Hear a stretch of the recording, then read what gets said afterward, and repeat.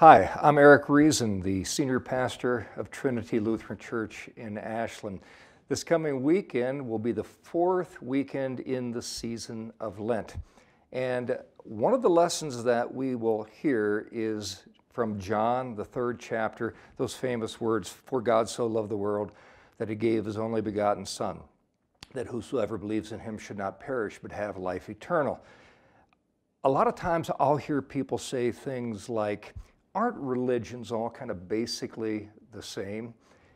And when people say that, it kind of lets me know that maybe they don't know what really religious differences there are. Because religions agree on a lot of things about morality and the existence of God, but the unique claim of the Christian faith is not only that there's a God who truly exists, but in God's heart, there is the heart, beats the heart of love. And in the original language, that love is called agape love. And it's a love that's not self serving, it's a love that is always self giving. For God so loved the world that, that He gave.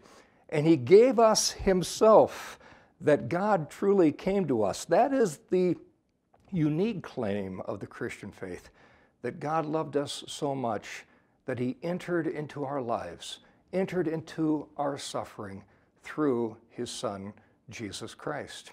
Here at Trinity Lutheran Church, we truly want to hold to that and to share that love with integrity and to share it with people whose lives are often difficult and maybe your life I know you've got some difficult things also, but to know that in the difficulties of life, in the failures that we all have, and all of the struggles, the heart of reality beats with the love of God.